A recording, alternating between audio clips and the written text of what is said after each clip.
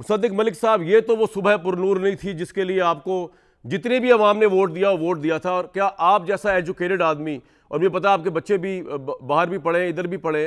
तो आपको तो एजुकेशन की अहमियत का बहुत अंदाज़ा है। तो अब आपकी गवर्नमेंट आ गई तो जनाब अब इतने इतने बड़े स्कूल, कॉलेजेस के जो प्रिंसिपल्स हैं, वो रिज़ाइन करेंगे और इस तरह पुलिस वालों का तबादला हो जाएगा क्योंकि वो कानून पर अमलदारी कर रहे हैं। देखिए, पहली बात तो ये कि जो जहाँ तक पुलिस अफसर का ताल्लुक है, मैं समझता हूँ अगर उनने कोई गलत चीज़ नहीं की है और उन्होंने अपना काम आइन के और कानून के मुताबिक किया है तो बिल्कुल उनकी तब्दीली नहीं होनी चाहिए। और कोई भी शख्स हो, चाहे वो एम एन ए हो, एम पी ए हो, सेनेटर हो, वज़ीर हो, उसको कानून की पाबंदी तो करनी पड़ेगी। मगर अगर किसी, कोई ऐसी चीज़ हुई है मेरे सामने, क्योंकि मैं जहाँ बैठा हूँ, वहाँ पर टेलीविज़न भी नहीं है, इस वजह से मेरे पास पूरी उसकी डिटेल्स